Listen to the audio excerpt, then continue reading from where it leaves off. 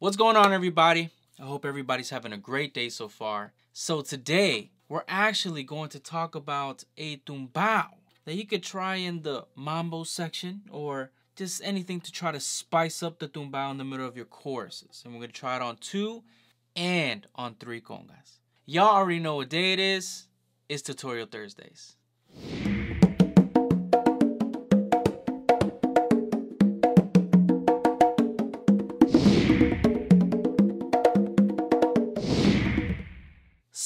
To all the new subscribers, welcome to Percussion Life. My name is Eric Perez. Some of you already know that by now, but just had to introduce myself to all the newcomers, man. And I do thank you for subscribing. I do hope that you enjoy these videos. And if you haven't subscribed already, just hit that subscribe button, hit that notification button, find out whenever I'm uploading. And yes, we upload videos, man. Mostly every Monday and Thursday. Something new, something different, something fresh and it's normally things that you request.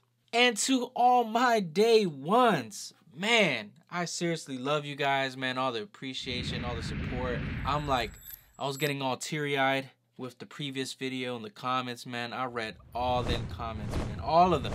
All them comments, man. I have read each and every one of them. And seriously, means a lot. I am blessed to know that these videos have benefited so many of you. And ah, I'm just seriously grateful grateful, grateful that you know this community is building and becoming what it is man. So thank you guys all my day ones. I love y'all. So i just want to get right into it. Uh this tumbao is very popular. You'll hear it once i play it. You're gonna be like oh yeah that's uh that tumbao i already know it. Good for you you know? Uh this is mostly for the people that haven't played it. Also it's a different perspective. It's just my take on how i do it. So yeah. So the tumbao I'm gonna show you, I'm gonna show you first on two congas and then in the middle just uh, switch it up to three, you know what I'm saying? So yeah, let me show you real quick what I'm talking about.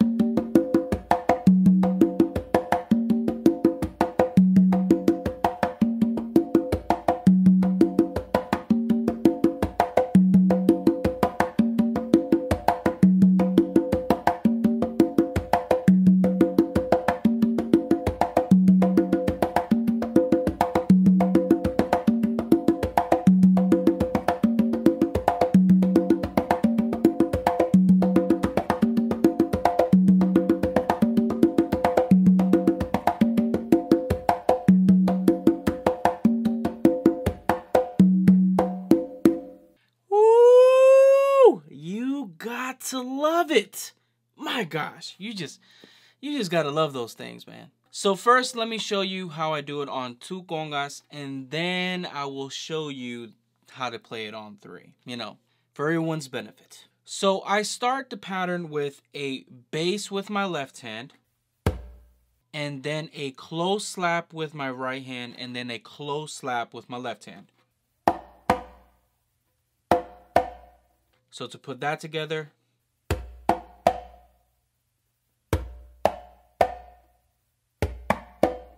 After I do that close slap with my left hand, I'm to go to the tumba on my right and do two opens. So to put that together,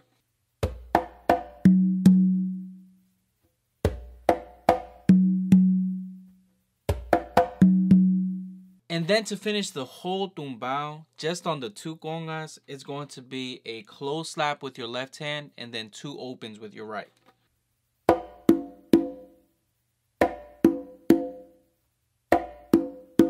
So to put everything together, it's going to sound like this.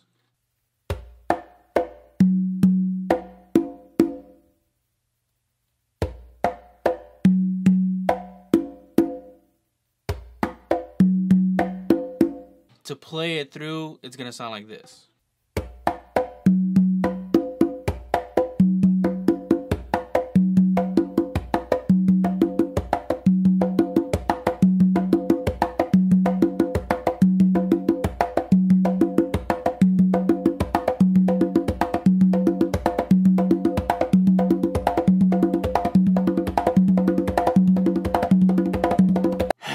Let's not uh let's not get off topic here.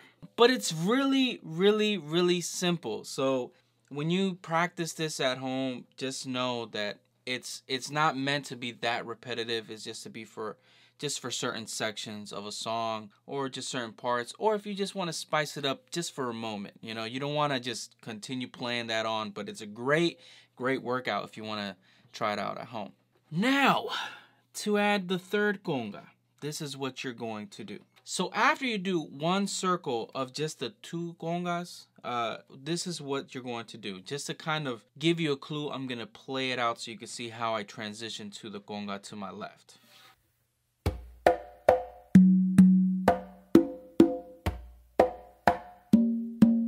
So basically, when you go to your bass, rather than going bass close slap with your right hand and close slap with your left hand, what you're going to do is a bass close slap with your left hand and then a close slap with your right. So it's going to sound like this.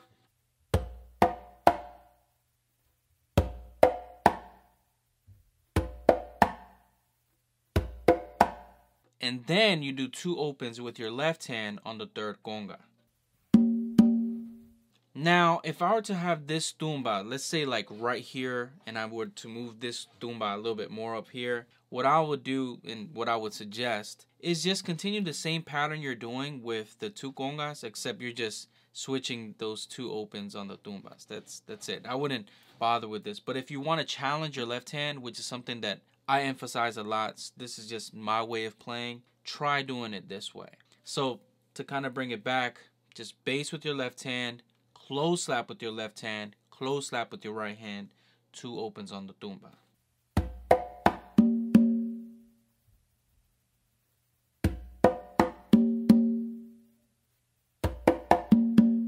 Then you go kind of like back to your regular scheduled programming and you're going to do a close slap with your left hand and then two opens with your right.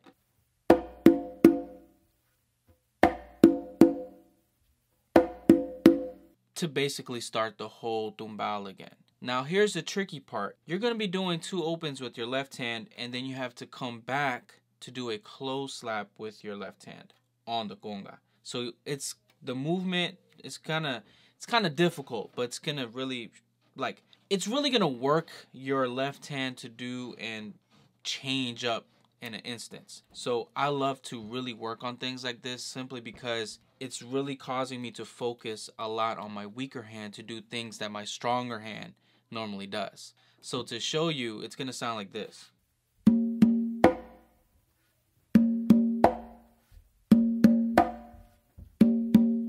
So just to play this left hand part, let me show you so you could try to practice just that at home. It's a great workout. The good things happen when you work out of home.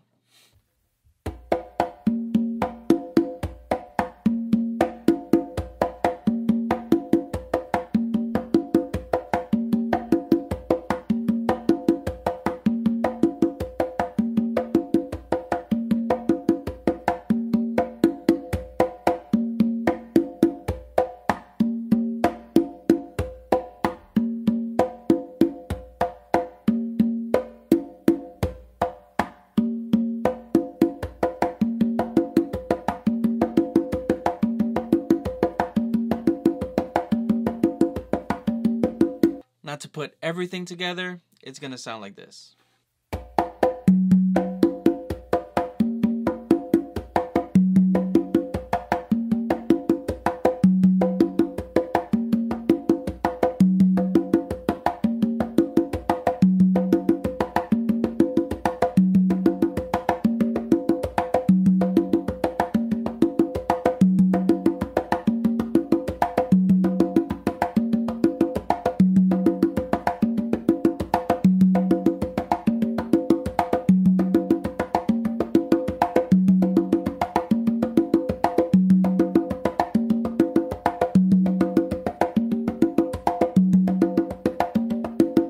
The best place that I found that you could count it is basically like this. Let me show you.